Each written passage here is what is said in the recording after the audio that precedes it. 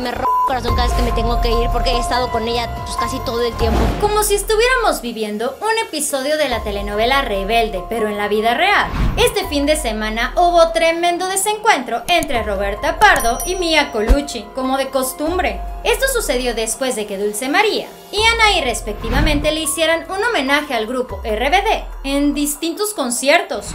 Invitarla. Sabía que llevaba 11 años fuera de los escenarios. Todo el asunto inició cuando Dulce María, a través de su cuenta oficial de Twitter, se quejó de que la persona que maneja la cuenta de RBD en Twitter la ignorara y no hiciera eco del homenaje que ella hizo durante su aparición en los 2000 Pop Tour, que se llevó a cabo el día viernes en la Arena Ciudad de México. El tweet de Dulce María dice lo siguiente: Lástima que no sé quién maneja las redes de RBD oficial, pero hubiera estado bonito que se sumaran a este gran homenaje que hicimos para toda la generación rebelde y de los 2000. En fin, gracias a las más de 25 mil personas que recordaron y cantaron con nosotros. Que ha tenido mil invitaciones y que aceptó la mía. Por su parte, la guapísima Anaí apareció como invitada especial. En el concierto de Carol G, Anaí y la bichota a dueto cantaron la inolvidable canción Sálvame. Ustedes prepárense, porque vamos a llorar juntos esta noche en.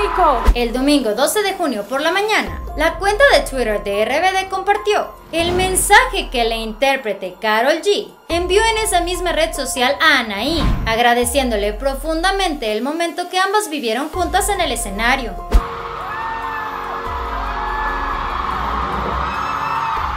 El mensaje inicial de la conocida bichota decía lo siguiente: Te amo, Anaí, te amo de la forma más pura, más real y genuina. Hoy cumpliste mi sueño y el de toda una generación. Ese escenario esta noche fue completamente tuyo y mi corazón también. Gracias. La cuenta oficial de RBD retuiteó ese mensaje y escribió: ¿Quién más sigue reviviendo ese momento en su cabeza? Porque yo soy súper fan, súper fan, manera, la cuenta de Twitter del ex grupo publicó la respuesta de Anaí, contestándole el mensaje a Carol G. Muchísimos medios de comunicación nacionales hicieron énfasis en que la cuenta de RBD lo único que hizo fue mandar a la goma la participación de Dulce María en el 2000 Pop Tour.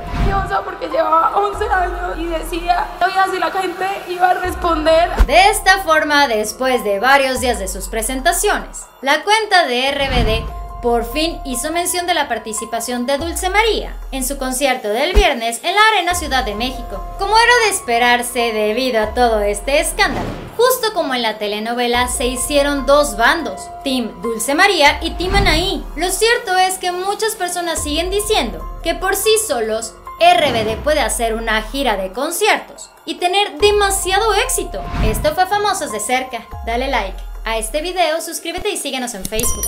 Espero que tengas un excelente día. Nos vemos muy pronto. Bye.